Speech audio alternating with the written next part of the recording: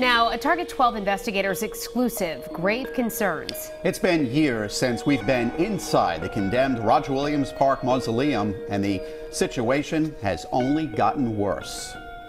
It has to be addressed, and the sooner the better. Tonight, we're returning to that eerie site in Cranston where hundreds of bodies remain trapped inside a crumbling building. And we're hearing from a local funeral director who has a new plan to remove all of the remains once and for all. Target 12 investigator Susan Campbell joins us now with the exclusive new details she's uncovered. It's almost hard to see the mausoleum because the trees and plants are so overgrown. But behind the brush, the building is crumbling. The situation here has gotten so bad, it's landed on the desk of Rhode Island's top lawmaker. Open caskets, crumbling stone, dripping water. It wasn't like this just 20 years ago.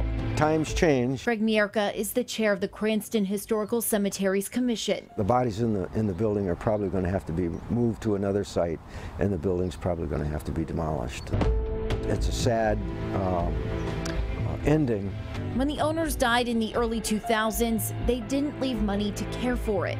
The property's receiver argued the state and city should be responsible for it, but neither wanted to claim it. And ultimately, the judge ordered the mausoleum abandoned. It's like kicking the can down the road, and eventually, uh, major portions of the building are going to start falling in. Over the years, there have been efforts to try to remove the bodies.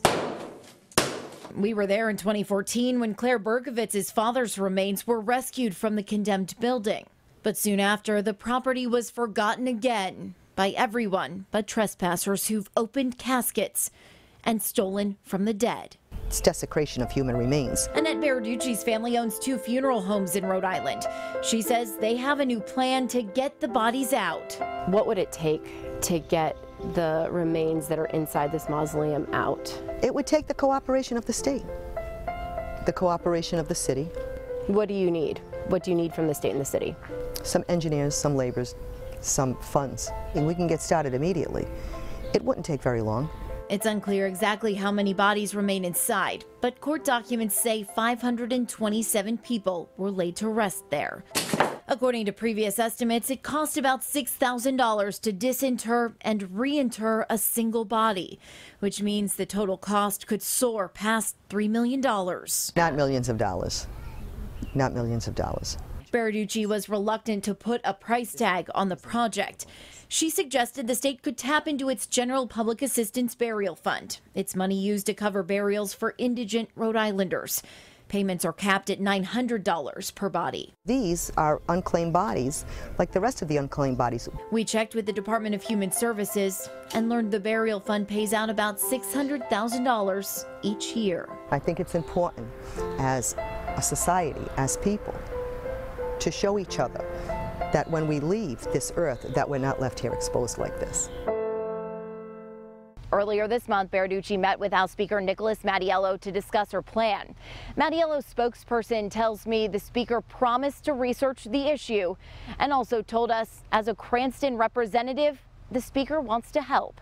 With the Target 12 investigator, Susan Campbell, Eyewitness News. Now to a Target 12 investigators exclusive grave concerns. At 5, we told you about a local funeral home's new plan to remove hundreds of bodies that are trapped inside the condemned Roger Williams Park Mausoleum.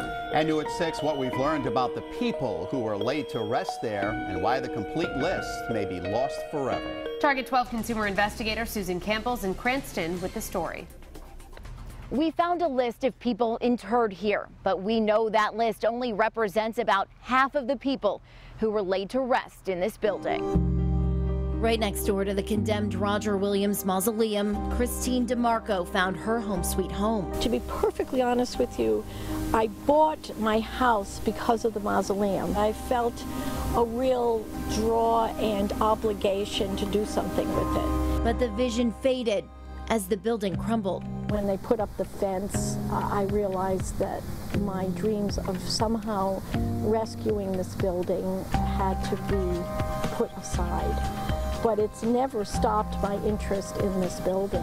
Annette Baraducci and her family have also been interested in this building for years. They operate two funeral homes in the area, and right before the building was declared abandoned by the court, the Baraducci's proposed a plan to disinter and reinter all of the bodies. A lot of these people were veterans, they're war heroes, they took care of us, we have to take care of them.